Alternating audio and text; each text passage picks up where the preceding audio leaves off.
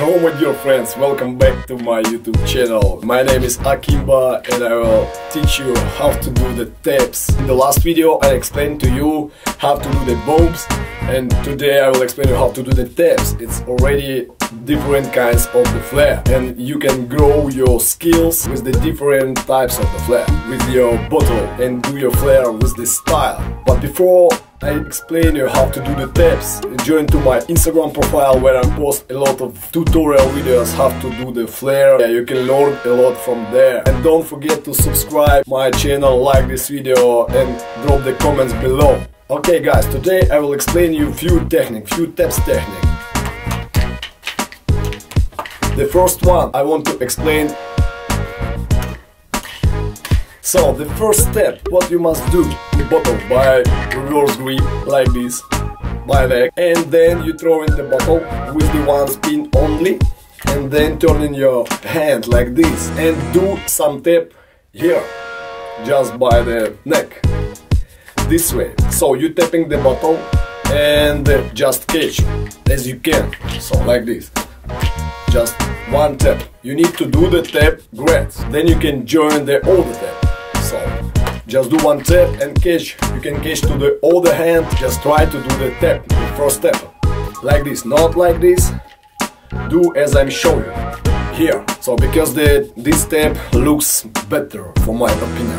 At least it's unusual. After that when you do that, I'm throwing the bottle, do this step, just one tap.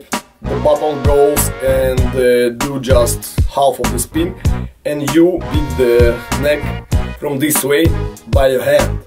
So, and catching to straight grip. So, look at my technique, how I'm turning my hand. Look, when I'm tapping here, I'm same time I'm turning the hand and catching bottle here. So, all together.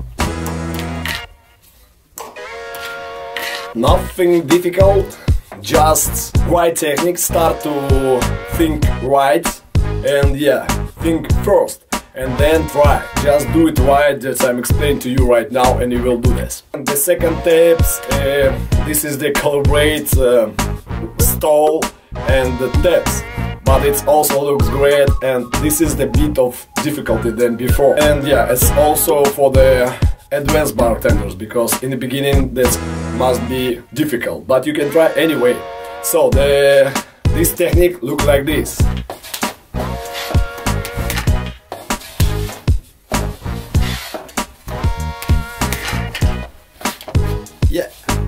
So what the difference here? Now I'm joining the stall, the elbow stall.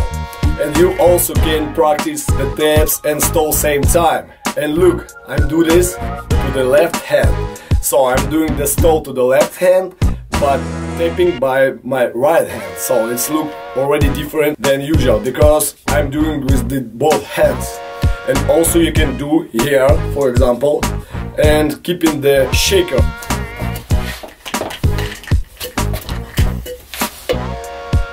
what I'm doing first. First of all, I want to explain to you, you need to turn your body. You need to do one step from the right to left, if you right-handed. If you're left-handed, you do the from the other side, from the left to right. So I'm the right-handed and I'm do from the right. From the right, I'm doing the one step to the left and same time I just do the one easy thumb roll. Yeah, then I'm throw bottle behind with the one spin only and catch to the elbow stall to the left hand. This is the first step you must learn. After that, every next move it's easily than the stall because the stall to the left hand it's not easy for everyone. Not everyone, but mostly using only one hand. And now I explain to you how to use both hands. The step from the right and I'm just do the step, thumb roll same time catching to the stall.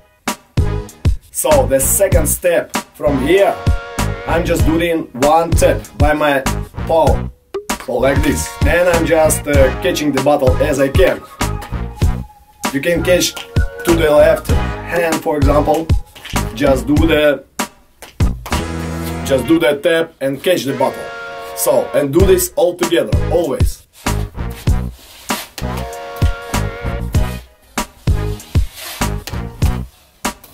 If you don't plant the bottle and yeah the bottle is start to drop same time you can push the bottom and do the tap like this. And the third step you can join the hand tap from here. As I'm showed you the, in the move before the same absolutely the same. So look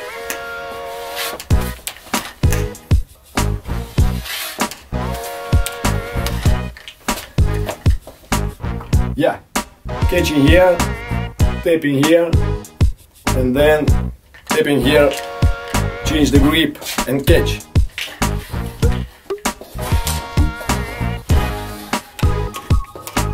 From this move you can build your own moves. And also it's so important for your creativity and inventiveness. So do it learn it and use it very well for your comments and yeah watch the monthly videos in my youtube channel. See you in the next video